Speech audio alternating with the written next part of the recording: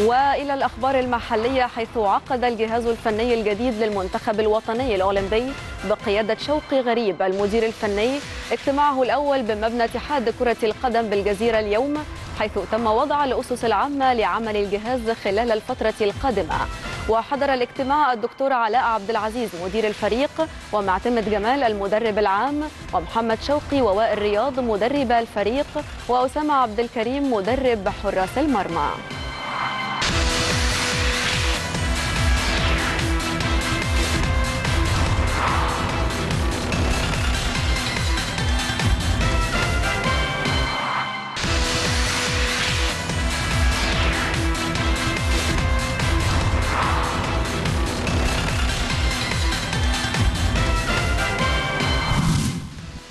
أكد عامر حسين رئيس لجنة المسابقات باتحاد الكرة أن الموسم الحالي سينتهي 21 مايو كما كان محددا من قبل من أجل منح الفرصة للمنتخب الوطني للإعداد للمشاركة في كأس العالم 2018 بروسيا. وأضاف عامر حسين أن الفيفا طالب الاتحادات الأهلية بإنهاء المسابقات قبل نهاية شهر مايو مؤكدا أنه يعكف على إنهاء جدول الدوري وكأس مصر خلال الساعات المقبلة. وطلب حسين الأندية بمساعدة اتحاد الكرة خاصة وأن الموسم الحالي استثنائي.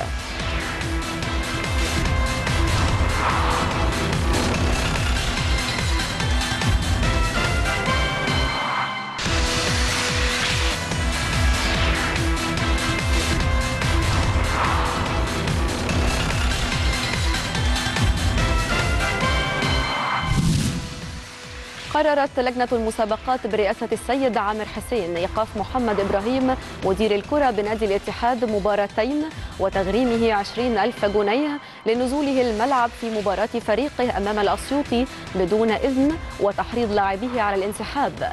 كما قررت اللجنة تغريم نادي الاتحاد عشرة ألاف جنيه لما بدر من مرافقيه من سلوك غير رياضي وتوقيع نفس الغرامة على نادي الأسيوطي لنفس الأسباب وإيقاف علي ماهر المدير الفني للأسيوطي أربع مباريات بسبب السلوك غير الرياضي. وإيقاف كل من هشام هاشم الدسوقي مدرب حراس نادي النصر وأشرف حامد مدير الكرة مباراة بسبب الاعتراض على حكم المباراة المقاولون والنصر بطريقة غير لائقة.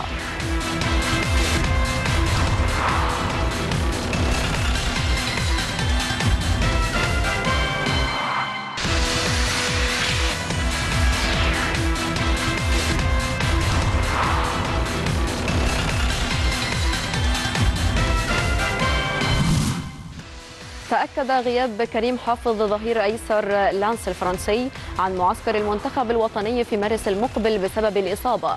وتعرض اللاعب لالتواء في الكاحل يغيب عن أثره لمدة لن تقل عن 45 يوما ولن يتواجد في معسكر المنتخب الذي سيشهد خوض وديتين مع منتخبات البرتغال واليونان.